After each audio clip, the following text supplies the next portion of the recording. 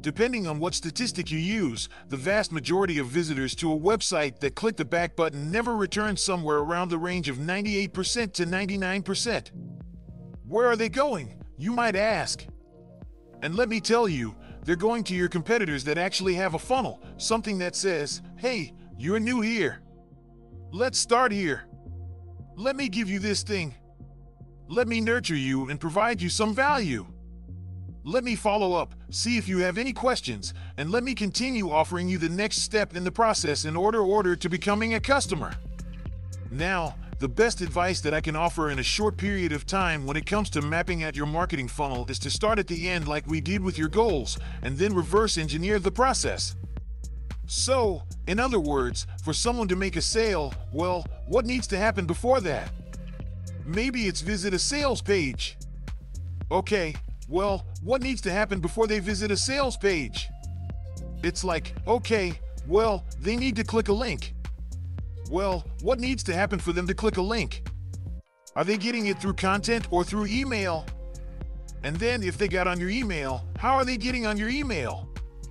And essentially, you can just work your way backwards through the process. And then once it's all mapped out, that's where things get really exciting. Yeah, kind of nerdy about this stuff. Because once it's mapped out, now you can start looking for gaps for leaks in your funnel you can start finding areas where you're losing people through some random mistake or messaging. This just doesn't quite line up. For example, if everybody's clicking over to your sales page but nobody's opting in or nobody's buying, well, now we know we have a conversion issue on the sales page. On the other hand, if people are joining your email list but then never opening any of your emails, well, now we know we have an issue with congruence between what was promised and what's being delivered. Or perhaps we're just collecting bad emails. Or if we map it all the way out and we get to the sales call and we realize that we're only closing 1 in 4 or 1 in 5, when we should be closing 1 in 3 or 1 in 2. Well, now we know we can start looking looking at that. And we can look at all of the steps up to it. And was there a congruence issue again? Were there pricing expectations? Were there other objections and sales issues that we could have overcome in our marketing prior? What's really cool about this is that we make a small tweak over here and we increase conversions by 2%, and we increase that one by 3% and that one by 1%. Well, it's not like we're adding these things up just one after another. They compound. So an increase by 3% here could lead to 10 or 20 or 30 more sales, which could then lead to thousands or tens of thousands or even millions more dollars in revenue at the end. Speaking of revenue, next step here after our funnel is CLV, which stands for Customer Lifetime Value, sometimes referred to as LTV for Lifetime Value or LCV for Lifetime Customer Value. Whatever it is, it's pretty much all the same thing, which what is the value of a customer to your business over their lifetime period? Now, some people look at this in revenue, some people look at it in profit. I typically like to look at it in profit, but it depends on the formula that we're looking at. The point is, if you've never done this before, this is an incredibly powerful exercise to run through to figure out just how valuable someone is to your business. And I'm willing to bet, regardless of what business or market or industry you're in, it's significantly higher than you thought which means that you now have permission to do significantly more marketing and invest in significantly more content because you know just how profitable and how valuable new customers and new clients and new sales are for your business.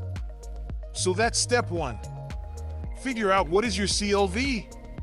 After that, you need to find ways to encourage and increase retention the number of clients and customers that you're going to keep, the length of time that you're going to keep them, and then finding other ways to increase that customer lifetime value either by selling them more things, by selling them more things more often, by increasing the price, by providing upsells and downsells and cross sells, essentially other ways and other opportunities to solve problems that they have. That's an important point to make here. What we're doing with our marketing and with our offers is we're solving problems that they have.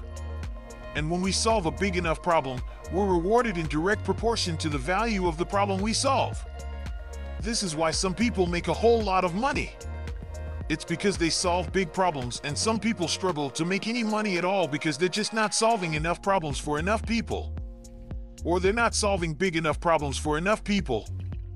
Okay, so that is CLV. And what you may notice is that is kind of the final ring of our concentric.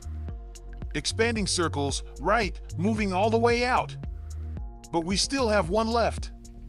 And the reason that I almost didn't want to give it a ring of its own, but rather have it sort of circle the whole thing, is because especially today, especially now, and moving into the future, it's so important that it almost needs to overlap and encompass everything else that we're doing.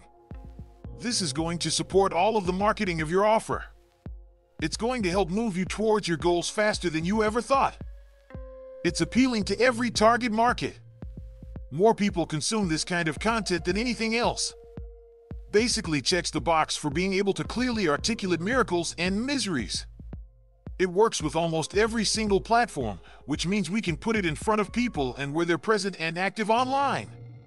It's the best content type. We can embed it in email, it works as part of the funnel, so on and so forth. Probably no surprise here that the final piece of the puzzle is video. Essentially, the big question that you want to ask yourself here is how can you supercharge everything you're doing with a video marketing strategy? Now, clearly for long form video, YouTube is the best place to do it.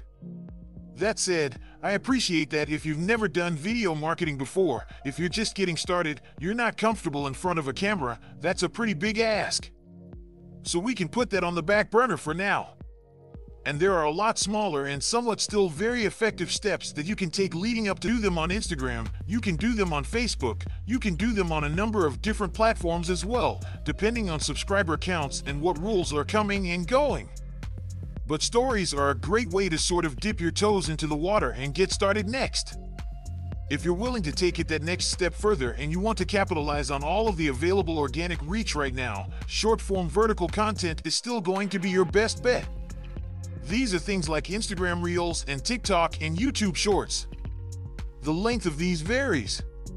Different platforms tend to have preferences for different length videos, but typically we're looking at 15 to 30 seconds, 30 to 60 seconds, somewhere around that range. So what's something that you can talk about for 30 to 60 seconds?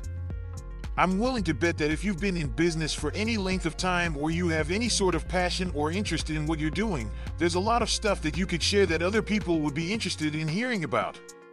Of course, if you really want to dominate your space, become the leader in your industry, then YouTube is clearly going to be the winner here for long-form video content. So don't be afraid to test it out. Upload a few bad videos at first. I mean, the beauty of just getting started is nobody is really around to watch your stuff, so you get a chance to sort of practice and experiment a little bit without all the judgment of the internet. Looking back on my first videos, they were awkward and incredibly sweaty and I was super nervous and I didn't know how to use a camera so it's kind of blurry and I didn't know how to use a microphone so it only came out of one side. Yeah, it was, it was rough.